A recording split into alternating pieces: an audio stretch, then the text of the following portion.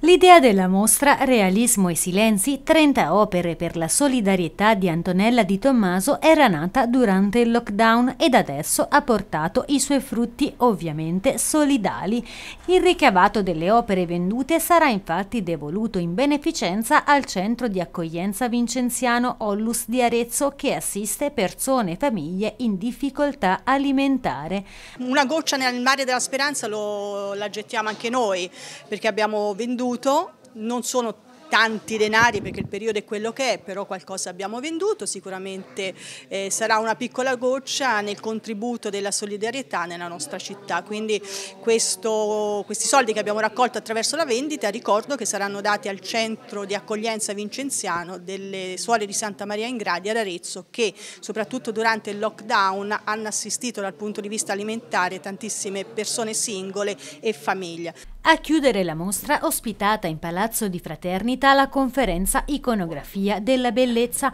un vero e proprio viaggio iniziato con l'arte religiosa per arrivare poi attraverso i secoli alla lettura contemporanea della bellezza, un argomento dunque tanto complesso quanto affascinante che ha caratterizzato ogni epoca nella quale ha trovato molteplici chiavi di lettura ed interpretazioni. La bellezza è la spiritualità, il vero valore della società di oggi è recuperare la spiritualità. La spiritualità nasce dalla nostra biologia, cioè il nostro cervello è un organo che è fatto di materia ma che trascende la materia con l'arte, con la poesia, con la musica, con l'amore. Ecco, tutti questi valori che passano dal, dalla materialità alla spiritualità noi dobbiamo coltivare.